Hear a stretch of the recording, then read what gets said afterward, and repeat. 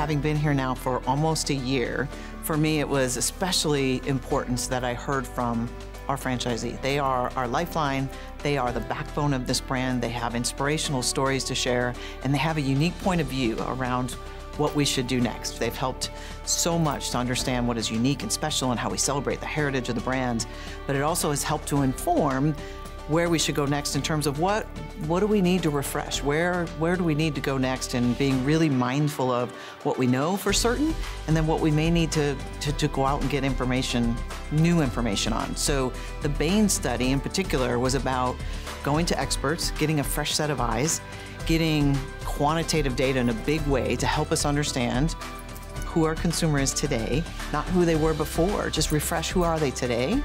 How do we get them to come more often and then specifically, what's the roadmap for our future? This isn't a one-time thing. This is something that'll last the next three to five years in terms of the strategies.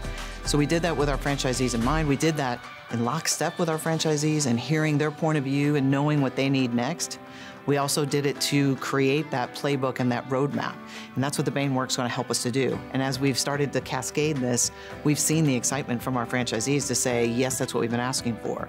I just came out of a meeting, Bain meeting that was presented by uh, Kelli and Sherry and the team, and I am just so excited and so happy to hear what's happening all the work that they have done in such short period of time, I'm just blown away among my other peers that were here.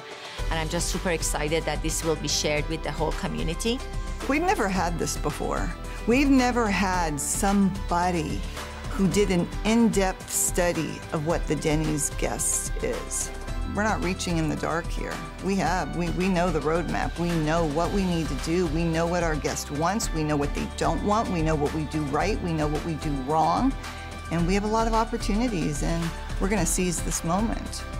The most important thing coming out of, I think, coming out of the Bain work, not necessarily just a new pricing model, this roadmap is, is going to be instrumental in, in paving the road to our future, but the consumer, just knowing without a doubt who they are, and how we delight them is what's going to grow guests. it's what's going to grow traffic. It's what's going to help people, all of our teams understand who exactly we're going after. And that laser-like focus on who the consumer is and how we delight them is one of the biggest parts of this research that's going to help us go forward.